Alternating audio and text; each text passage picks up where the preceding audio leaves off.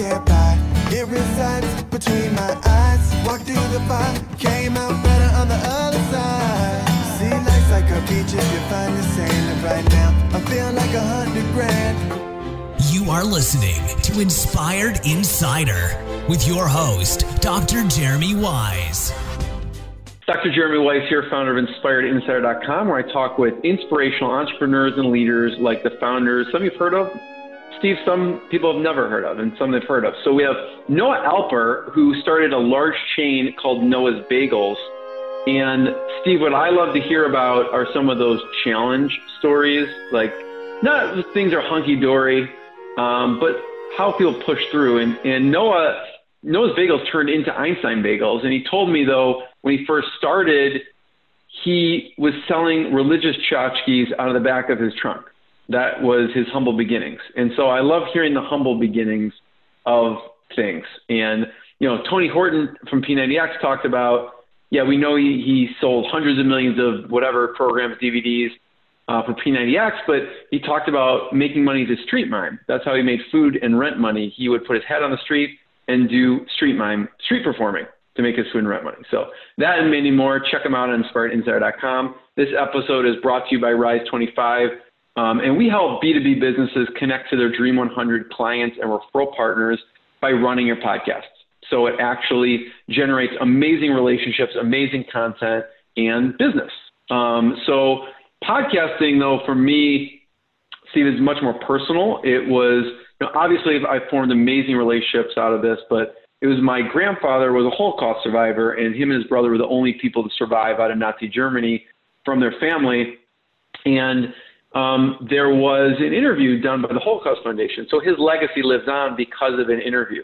Um, and so his interview is on the about page of inspiredinsider.com and um, you could check it out. But it really inspires me to, I consider when I have a guest on, I'm helping them and myself leave a legacy beyond ourselves. So if you are interested in podcasting for your business, go to rise25.com and learn more.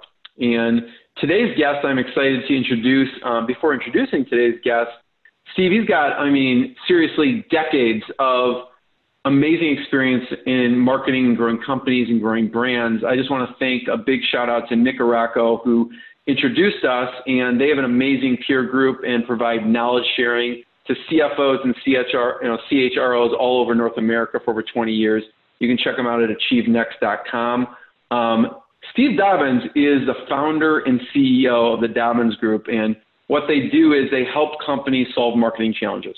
And for over 20 years, He's worked side by side with CEOs to help grow brands. They work with companies over the past decades like IBM Watson Talent, Swims, YPO, Vistage, and many more. And his collective team of the Dobbins Group, um, I'm not going to say, Steve, they're even more impressive, but they've worked with amazing companies.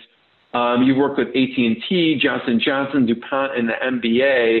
They bring that world of experience into working with brands. So, Steve, Thank you for joining me. Great to be here, Jeremy. You know, I want to talk about swims, but before we go into swims, because you essentially you can go in and you do a multitude of things, right? You have provide CMO work. You can go in and help revamp social media, messaging, brands, um, and so we'll talk about swims, but especially during this, you know, kind of crisis mode. Hopefully, coming out of crisis mode, you've helped people navigate this crazy time. So I'm wondering what the types of things people are calling on you to do and help them with.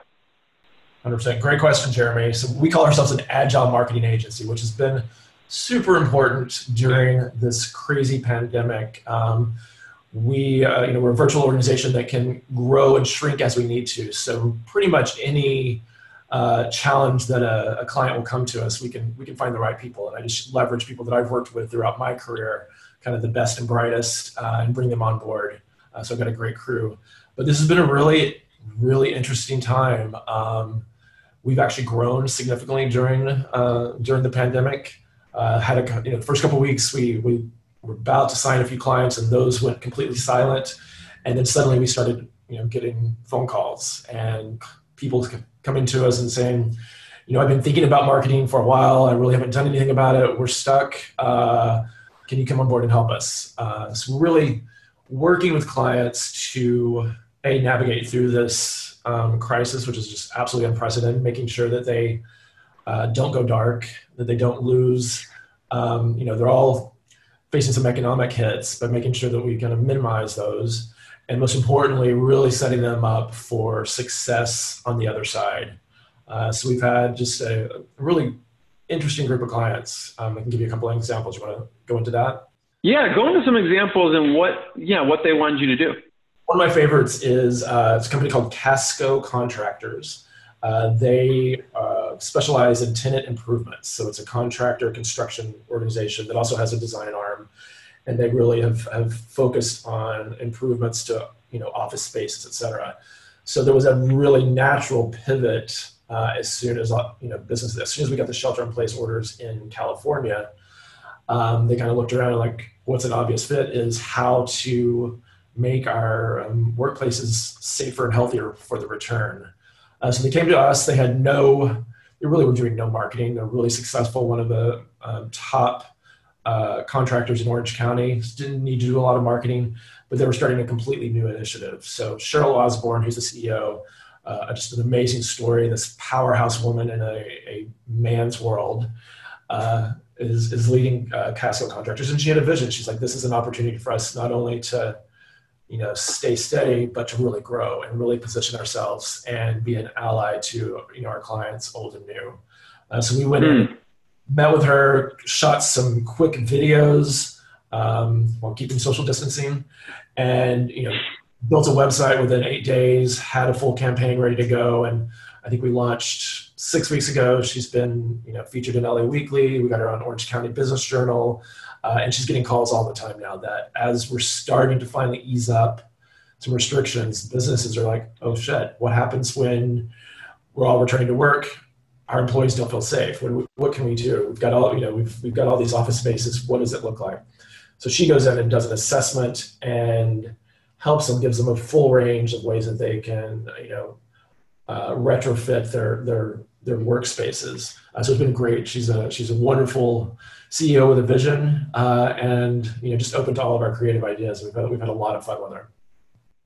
You know, I love that because it's like a lot of companies are now seeing the need to pivot and grow. You know, with a different initiative from what they had before, and you kind of bring that that leadership the, the marketing leadership together to help them navigate what that looks like. So they kind of came to you with, here's what we're thinking, and you kind of built out this whole program around it. Absolutely, absolutely, yeah. What What would you say from talking to Cheryl? Um, so there were some takeaways. You said she, you know, she's a woman leader in a man, like in the construction or contractor industry in a man's world. What were some of the things that struck you about her as a leader and running the company? I think she you know she's able to use some of her soft skills in a you know it's especially in this time when, when empathy is probably the most important when we're all kind of worried about health and safety she leads with that and she leads with you know mm. great integrity about her own business and how she you know, she made a commitment i'm not laying off anyone during this pandemic i'm going to you know no matter how much we suffer economically i'm taking care of my people that's first and foremost that's the message mm. that she out to all of orange county uh, she wants to help fellow CEOs. So she's speaking directly to CEOs uh, to like, hey, we, your people are your most important, um, you know, asset. Let's take care of them and make your place as safe and healthy as possible. Hmm. Um, Steve, what's another one of people? If someone came to you in in this uh, craziness? Yeah, um, another one we're working with KineMagic, which is a uh, VR company out of New Orleans. So they do uh, virtual reality and XR, and they were solely focused. They, they launched their product in February.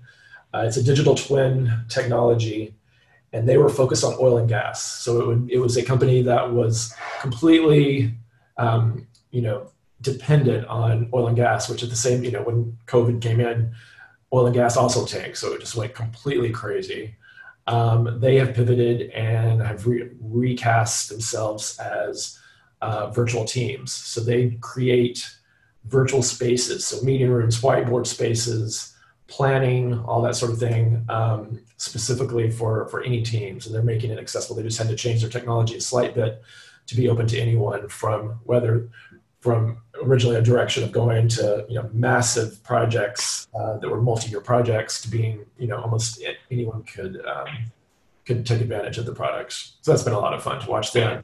They had their panic mode and then came through it with just like a new vision. It's been really cool to watch again the CEO kind of take the you know leadership and find some way, learn ways to innovate. Walk me through a bit of the process.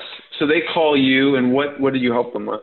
Yeah, we were working with them on a we were working with them, and um, I mean on any on any client, you know, we kind of we first we go through a they, they may come with one set of problems, um, and we do a, a uh, you know kind of a dig deeper call where we'll explore what the really issues are, what their issues are, and and and you know, through conversations, kind of you typically uncover there's a lot bigger. There, they generally will start with something tactical, but they probably have something strategic that is a much bigger issue, and probably have some challenges with how they're messaging.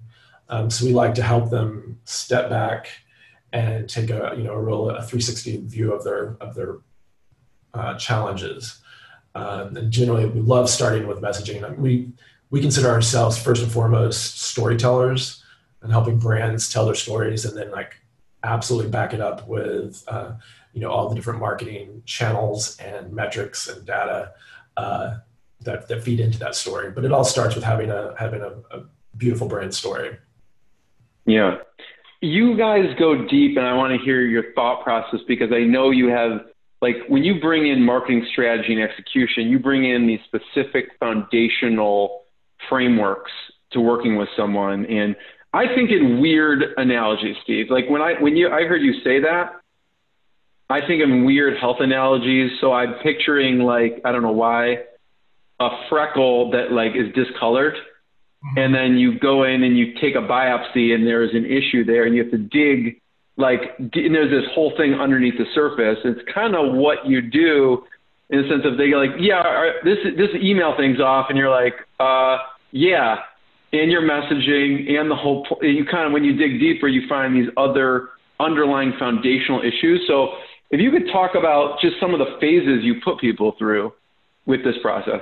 Yeah, we generally love when we have the freedom to. We love to start any new engagement with a messaging workshop, and we create a messaging playbook.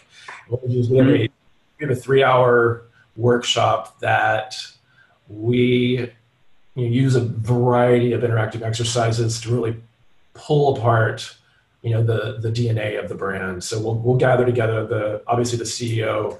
Um, we like to have about five or six of the key stakeholders participating in this because they all have a different view. And what we really quickly uncover is you know not everybody's on the not everybody's aligned. So you know marketing doesn't marketing in an unaligned organization doesn't do any good. You know, first you have to have alignment around who you are, what you do, and why it matters. And from all creating that framework um, really helps you to, to create much more effective marketing, but also much more effective um, communications within your own uh, messaging internally and how you work as a team. So we we start with that. Uh, we go back and create a, a messaging playbook that we present to them a week later, and it turns out to be a really cool interactive experience for the team, not just for us, but they it's proven to be a great like bonding experience for them. Uh, CEOs are kind of sit back and marvel what they're what they hear from their team. Uh, but that's a great foundational um, uh, practice for for any projects that we take on. And I love I love just we we started off with you know tasking the CEO to to tell the story of the brand. And it's not just the story of the brand, it's your story. So if, especially if it's a founder, founder CEO, how, how did we get here? How did we get to today? And really treat it like a compelling story. And that just feeds so much into the, the narrative. You know, and from there, so the messaging, yeah, go ahead.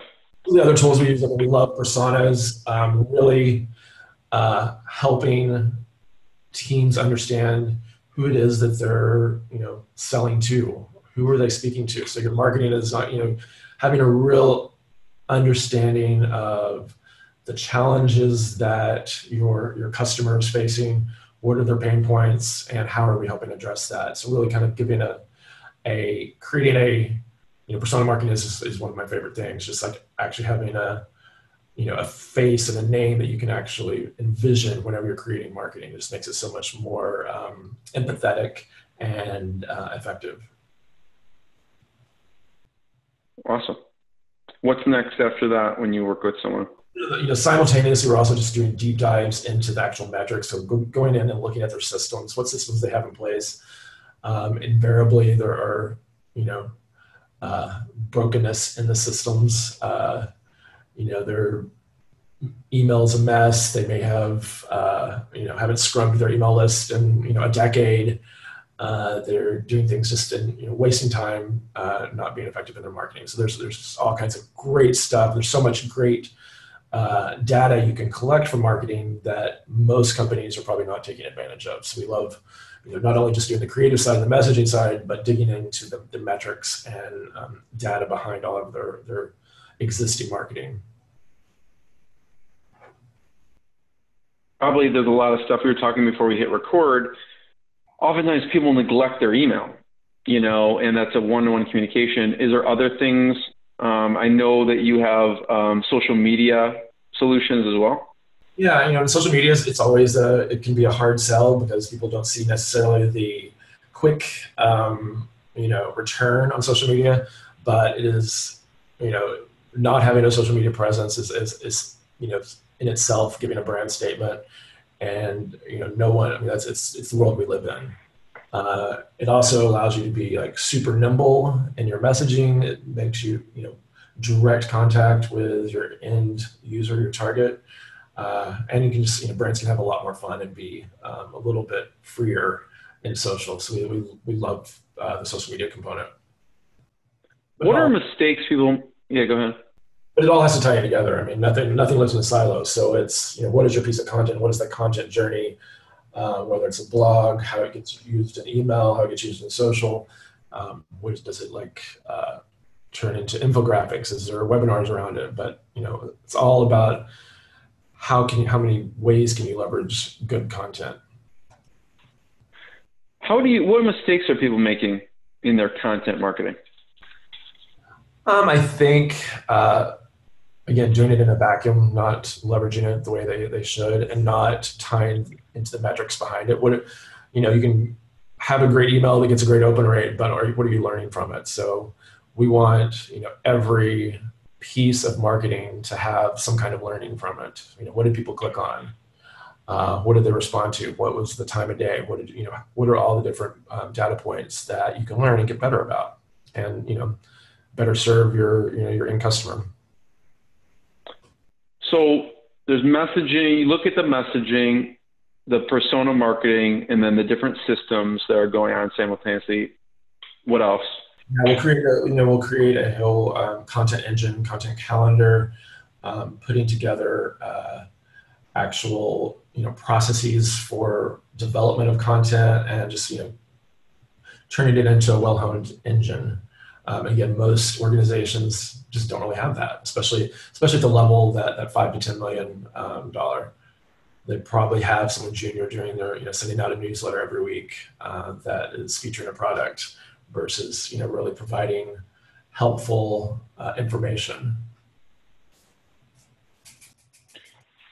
What's some of the most important, you know, when you go in, there's, that's probably can be overwhelming for people, I imagine, because there's so much stuff you could do what, where should people start with their content? Oh, it also depends on you know what industry you're in, who your target audience is. So I think mm-hmm. Is understanding who your who your audience is and looking at what their pain points and creating content that don't just try to sell your services, but show that you're empathetic and that you're a trusted partner and that you provide value. So getting them there, getting them hooked uh, before you know so they come to you for when they're when they have a need. Yeah. So yeah, the mistake you feel people make is maybe they just push out their own agenda or products too much, and they're not looking at it from their client's perspective of what would actually serve them, what questions are they having, and what pain points do they have. So. Um, what else when you go in? So the messaging persona systems, the content calendar. We'll, we'll do a we'll do a competitive analysis. What can we learn from the you know looking at the landscape? What are others doing? What are they doing right? What are they doing wrong? We'll do a real um, you know current state assessment and be very blunt about you know this is this is what we noticed. It can be it can be challenging for, for people to hear, uh, but some are better than they think they than, than they even think. They come to us knowing that they have some issues. Uh, we put all that together into a marketing, you know, developing a kind of a, a, a you know 12 month marketing strategy around all you know using all of those pieces. You probably had to have a lot of i don't know hard conversation but like you know just showing someone i don't know if this is the right analogy steve but like it's not so much their baby's ugly but sort of i guess. Um, it's a tough conversation right? Um, maybe your baby's not perfect is a better analogy but um, what are some of the hard, you know, to mention the person's name or company, but talk about some of those hard conversations because on one hand, they're coming to you for advice. On the other hand, you want them to listen to your advice. And if you come at it in the wrong way, they may not be as open. So maybe if you could talk about maybe a tough conversation you had to have and how you navigated that. Sure. I mean, I think there's, again, there's, goes back to my many many years working straight with CEOs, so knowing kind of how to have those conversations, uh, and also yeah. understanding the, the, you know there's there's a lot of uh, diplomacy that goes with any kind of marketing leadership. So you know you're never going to just like slam everything. Uh, there's always something good to defined, so you can find you know find the find the good things to compliment them on, and then you know then you can ease them into the, the realities and come with a solution as well, come with like hope. I'm like, hey, you know, this actually needs a lot of a lot of work, but it's absolutely possible. And I think some of the hardest, some of the bigger challenges are when, you know, like when the CEO has been handling marketing his or herself, um, or they've created systems, or they've created a, you know, they're they were hands on in the development of a website or a logo or whatever it is. Uh, and you know now they've grown and it's not you can't have this uh, uh, ragtag marketing that's you know got them to where they were. Uh, but usually, typically by the time they, they're at the size that when we start talking to them they're they're willing to hear the they, they know they need improvement. They're looking at, the, at their mm-hmm. landscape and know that they they want somebody to be honest with them. Yeah. They're ready for help Sometimes, but I mean, sometimes they aren't maybe ready to hear what you're what you're willing to share either, even though they know there's a problem. But um, but I'm sure that at least they've reached out and they want the help. I guess, right? Yeah, not you know, and what honestly, not everyone's a good fit. Um, I think we're we're always looking for people that are that are wanting to work with us, that respect our uh, opinions, that are willing to also have you know, be it you know, have a, difficult conversations with us. I mean, we want we yeah. Want, you got to be a level of trust and candidness, um, and you kind of for, you know, for this relationship to work. Yeah. Um, I wanted to ask about SWIMS in a second, but is there anything else that you want to touch on in in the process that we didn't hit? Um, again, every every project, every client is completely unique. So we really pride ourselves being a, again, being an agile agency of being able to provide a unique solution. Yeah, we have systems that we, you know, a lot, you know, a whole toolkit of things that we can use. Um, but not everything applies to everyone. So you know, that ability to, to really identify what a what a client needs and having those conversations. You know, Steve, I know there's a lot of people. Prob there's there's a number of companies in a position, kind of like Swims was, where they maybe weren't ready to hire a full time kind of head of marketing at this point. Um, and maybe it would take it could take a long time to find that person also, even when they're ready. So they need your team to come in, step in, and kind of lead the marketing efforts. So I'm just wondering, like maybe take Swims as an example um, because you have to quickly go in and assess everything, kind of like triage everything, and like move forward quickly. So, talk about the experience and, and what you do with Swims. Yeah, so Swims is a global lifestyle brand. They specialize in these amazing waterproof shoes and loafers. Uh, they were founded in Norway, got bought by private equity. Um, private equity hired a CEO in Long Beach. He, all of his marketing team was in Oslo. Uh, I got introduced to him right as he had taken he'd taken the job like three or four months earlier. Had no marketing here in, in, in the United States, and really his goal was to, to grow U.S. sales um, specifically. Uh, so he, we, he and I started talking. We hit it off. Um, quickly, we in, came into had an agreement, and you know, with an understanding that he was eventually going to hire a, a, head of global marketing, but that could be a year down the line, which which it turned out to be. Uh, so he and I worked again side by side. Uh, I was part of his leadership team, working you know to connect the dots between marketing and sales and product development.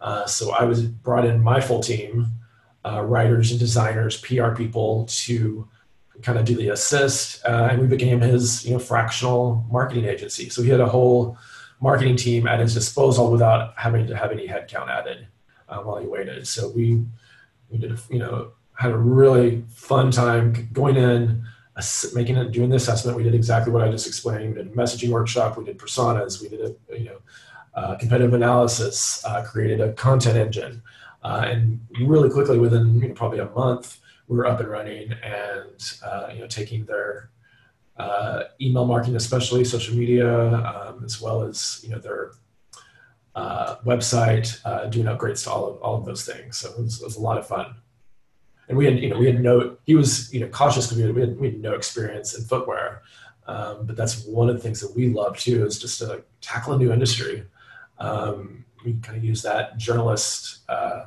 ethos to go in and dig and learn and quickly learn uh, a, a, any new industry. So that's how we got into technology, um, real estate, now like um, construction, uh, all brand new industries for us that we've been able to come in and work with the CEO and quickly understand the industry. It's interesting. I mean, the foundational principles apply to any industry, right? Exactly. Exactly. Yeah. What's interesting too, Steve, is that you do a really good job and you work yourself out of a job. Like you do a good enough job, you put everything in place, and then they're like, okay, you did amazing, Steve, bye. I mean, so how do people work with you ongoing past that point where then they bring someone else in?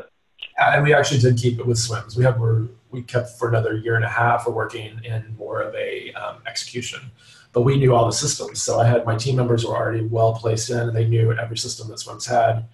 Um, so we, you know, kept on. So we all, you know, we always want to have that ongoing relationship, even if they hire someone new. Okay. Yeah, because I'm like, wait, that's terrible. It's great for them. It's terrible for you. Great, like you just hand it off to the next person the keys, keys to the car or whatever.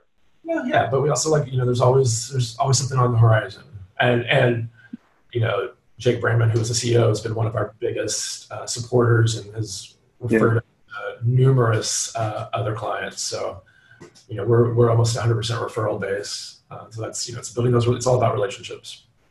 Yeah, no, totally, totally. And, and I'm sure there's always ongoing things or oversights and everything. I think I think of the analogy to like the chiropractor, you, you fix someone's back or you help their back, like, well, they're never coming back to you. So you did a great job you know. But if you educate them, just like in your your situation, they know they need some kind of maintenance, you right. know, and the people who understand that, that's what's needed. Right. Um, you you talked about the journalist background, and so you have a journalist background from University of Texas, where I actually almost went. Um, I went to Madison, but um, I thought about going there just because the food's amazing. Uh, the barbecue alone, I would go to University of Texas. Um, but how did you go from journalism and then you went to YPO? Yeah, so I I was again at University of Texas uh, from day one. Was on the Daily Texan, which is a amazing, probably one of the top three college newspapers in uh, the United States. Uh, went to work for them, loved it. Uh, made my way all the way up to editor, managing editor, my junior year. So I had 150 people working on a daily newspaper that was that competed with the wow. paper, uh, and really figured out that my love was not necessarily for the day-to-day reporting, but the management side of things. Uh, so you know, senior year, switched focus a little bit uh, and went on more of a communications versus straight journalism, and that's what brought me into into YPO as a writer.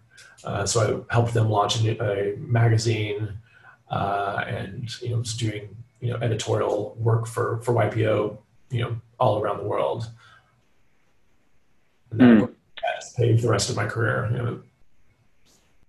What was the toughest part about managing that large staff while you were at the University of Texas? I think uh, juggling all the different personalities. It was the toughest, but also probably the most fulfilling. Um, I loved, and I still love leading teams. Uh, so that really gave me my first uh, glimpse of what leading teams would look like. I, you know, I, I yeah. Pride myself with that creating amazing teams that are, you know, the right, have the right, all the right talents and kind of creating diverse uh, diverse group. So you know, there could not have been a more diverse group than the the team we had at the Daily Texan. Lots of Pulitzer Prize winners. Um, yeah, super proud of, of, of them. Talk about your team at the Dobbins Group and how you assembled the team. Yeah, so they are 100% um, individuals that I've worked with at various parts of my career. So a lot of them have worked together. So they're really I consider them the kind of the best and brightest. The people that I have great relationships with, that I have a trust already built in. Um, I know their work ethic. Uh, they know mine. We know how to communicate. There's no challenges. They all have, you know, they're all have their own independent businesses as well. So they're, you know, don't depend just on the Dobbins group, but you know, we're I'm bringing them a lot of work. So we we work great together and build, you know, build really cool teams again, yeah, it's just like there's we never skip a beat when a new project starts. Yeah. I want to kind of get some of your favorite stories because you have a really amazing, have an amazing career so far from YPO, starting Spin Creative, and then again at YPO, then Vistage, then Revolution LA. I mean, it's it's pretty amazing. And tell me about going, working YPO, doing your own company and then going back to YPO. Yeah, well, it's interesting. So I, you know, I was at YPO for seven years. Uh, I absolutely loved it. It was a dream job. You know, I was in my 20s and traveling around the world, you know, working with some of the most just amazing business leaders uh, and just had, you know, direct exposure to them. Uh, it was fantastic, but I was, you know, living in Dallas and I wanted to live in what I wanted to live in California. And at that time, nobody, mm-hmm. nobody worked remote. It was not ever, never thought of anywhere. Uh, so I went to LA, uh, really not even having an, a concrete plan of what I was going to do. I was going to get to work. I was going to work at an agency. Um, got a contract job with YPO at the you know as I was leaving. That enabled gave me a little bit of a cushion, and that led to the creation of Spin Creative. So for the next I think 11, 12 years, I had Spin Creative, which was my first agency. Uh, we did a lot of work still with YPO, and then kind of expanded our, our reach we're very event marketing focused, uh, so traveling around the world. Uh, so it was it was a uh, I loved the adventure of working for myself, uh, and then also but you know still getting you know in the diversity of clients. Uh, did that you know 12 years, and then YPO brought me back as their chief marketing officer. So it's kind of I went from an intern in uh, in my 20s to CMO um, in my in my 30s, which was you know just mm. an incredible opportunity as YPO was uh, expanding its global reach and its public profile. Lots of lots of cool opportunities. It's interesting. So when you went to LA, Steve, you have a little bit. It sounds like you had a little bit of plan, but not much.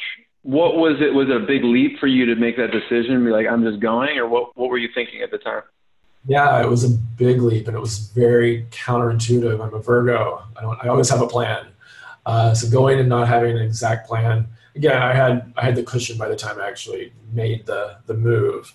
Uh, but I, you know, I had contacts. I had I had friends, and I had some um, business contacts that I figured, you know, and I had a little bit of savings. Might as well, you know, let's head west, go for the the, the, the American dream, uh, and, it, and, it, paid off. And that kind of gave me a, a impetus for the rest of my career, where it's really made it easier to take those leaps. So, what was the conversation like with YPO when they uh, I don't know, lured you back? They're like, okay, we want you back. And what was that? What was that conversation? It was awesome. And in fact, I had a Zoom call with uh, the CEO at the time uh, yesterday, uh, David Martin. Uh, gave me a call. I was still very familiar with, you know, I was working in within the organization as a contractor. You know, Spin Creative was doing all of their international events. We were very much ingrained in, in the organization.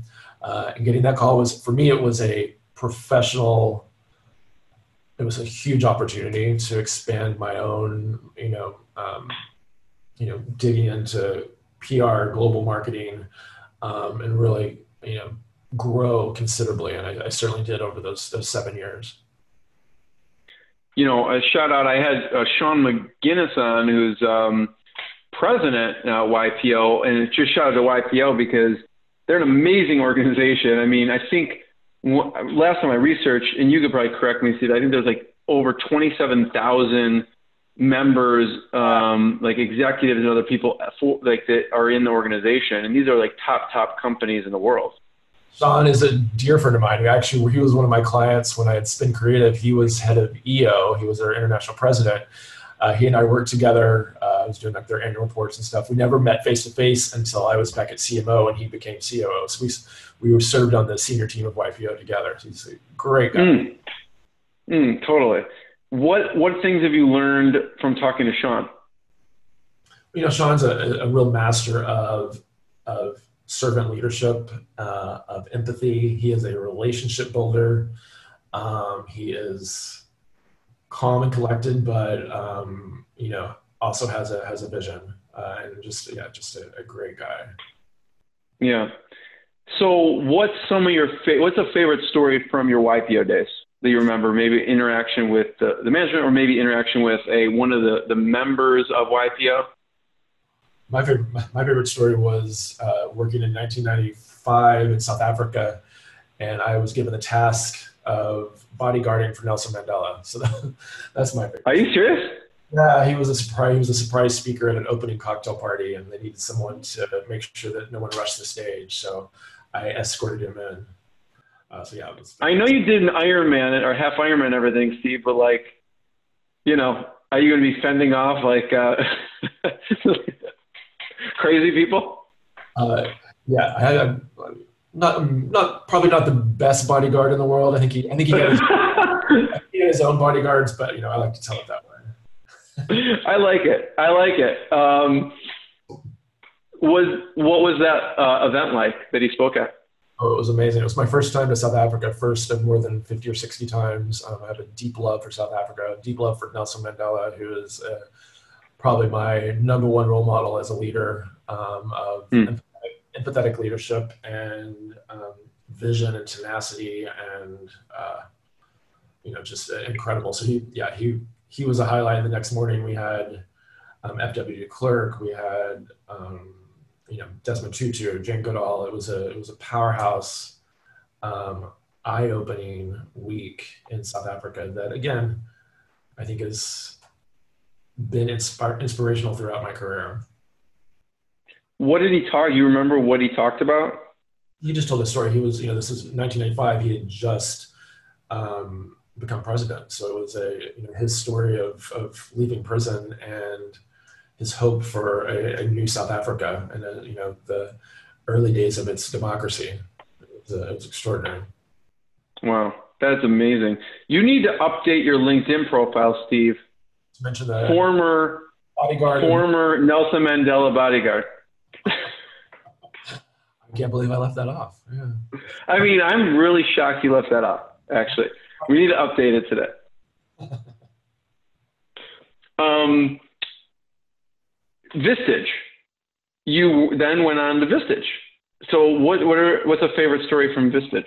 it was amazing. Vistage, another really amazing organization that sits in the same space as YPO as far as peer-to-peer uh, leadership. Um, and they really gave me an opportunity. I went in, left marketing a little bit. I was uh, more entrepreneurial. They put me in charge of, of coming up with various strategies to um, add to the member added to the member experience and create value streams for for members of Vistage. uh, which was completely out of my normal, you know, traditional marketing. Uh, so it was a great entrepreneurial um, opportunity. I think it uh, again gave me some, some, great room for professional growth in building a business um, and you know great contacts. A lot of my current clients are Vistage members. I'm still a Vistage member. I'm a huge believer in uh, YPO, Vistage EO, all of the peer-to-peer learning uh, organizations.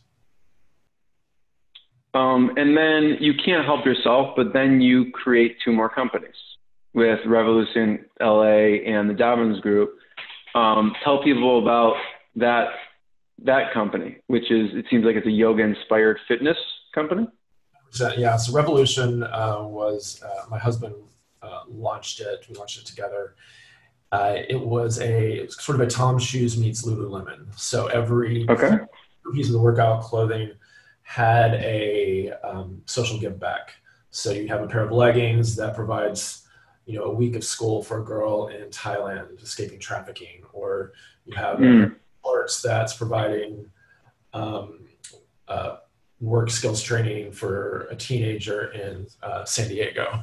Uh, so we launched that company, uh, and really, I was I left Vistage and was planning to start, you know, look for a CMO role uh, somewhere and realize, you know, I was like, let me do the marketing for Revolution for the first three to six months while we get it launched, and then I'll go off and find something else, and you know, go back full time somewhere. And that's when the Dobbins Group started. Was really, I don't want to go back to work for anyone at this point in my career. I want to. I've done an agency before. I can do it again.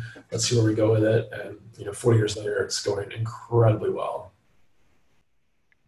You know, some of the hardest things I think is to launch a company right? And what were some of the strategies and things you used to get that off the ground? Yeah, well, I think in both the case of Revolution and with the Dobbins Group, it was first finding, you know, just like I would with any other client, is finding, you know, what is your story, what is your brand ethos, and really understanding who you are as a brand, uh, and then working from there and creating from that, and making sure that every aspect of the company connects to that DNA.